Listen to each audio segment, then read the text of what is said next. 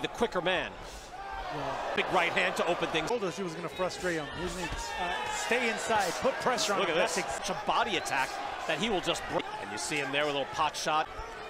That is his signature move. In a way, physically and backing up. Starts to get a little rhythm going in the final seconds. Be part of this fight, that's for sure. Wow, he's walking his way in. The jab.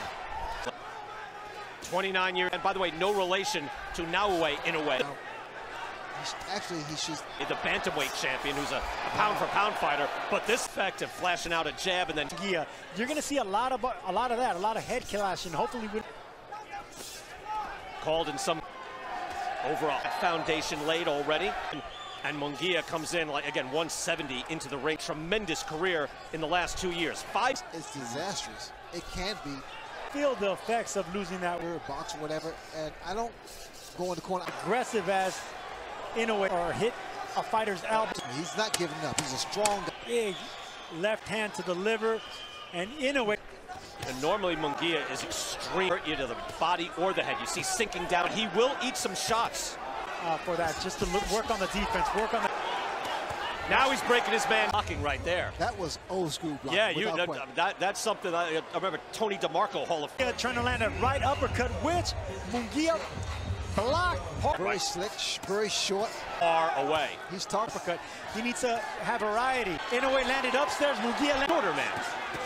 Clinched by Munguia. He actually should probably do that more. Sinks down. landing the harder, stronger, more heavier shots. Yet it's Takeshi Inoue backing up. The- You want Munguia to use that jab.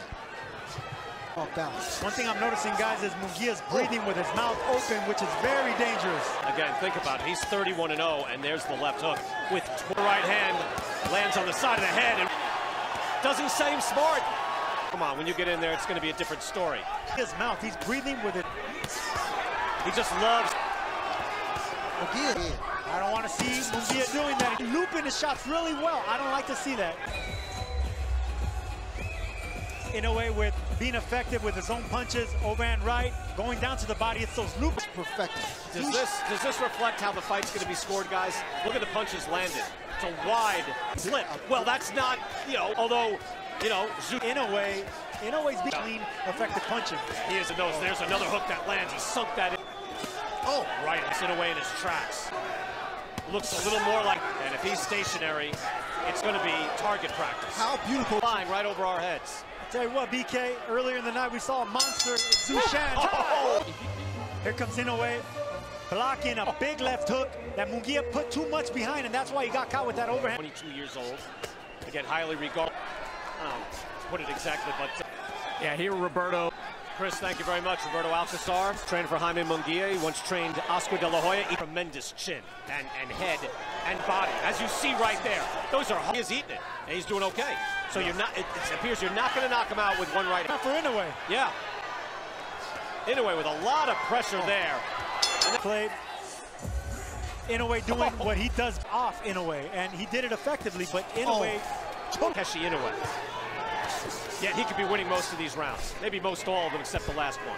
Big right hands, and his neck snapped back a little bit. Another right hand. Inoue wincing with those shots, but comes right back with the same overhand right hand. So much heart. Oh, and Munguia twice goes Oh. to his money shot. So dispiriting for any fighter to hit him. Like I said earlier, Munguia is fighting off Inoue. Inoue keeps coming forward, but right there he absorbs two good shots on the left and on the right. But Ray Leonard, at that one sequence of those Inoue comes Munguia. Right from distance. Oh. Inoue can land for Takeshi Inoue. Those are thudding, just incredible on Inoue's part. Just keeps coming forward, trying to land on him down. He's almost sitting down on the bottom rope. That could be a knockdown. He's got it. Oh, did he go down? Oh, No. look. Inoue stays on his feet. He almost took a Oh. knee. Round 11. Center in Houston. Jaime Munguia has his fans, but so does Takeshi 11 like we are now. Takeshi Inoue. in this fight.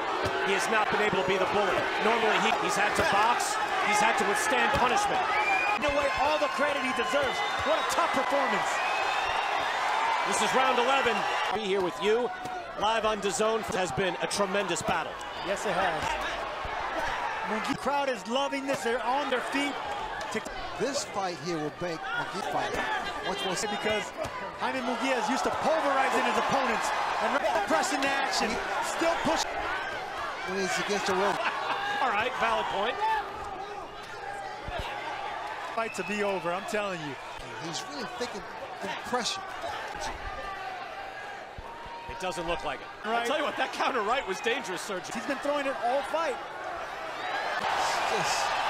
Look at this, standing It's over and determined, and you're gonna see a picture of Takeshi Inoue, I tell you. Determination. To keep this man off him. And Takeshi Inoue closed the gap and has earned a tremendous amount of respect. Jaime Munguia.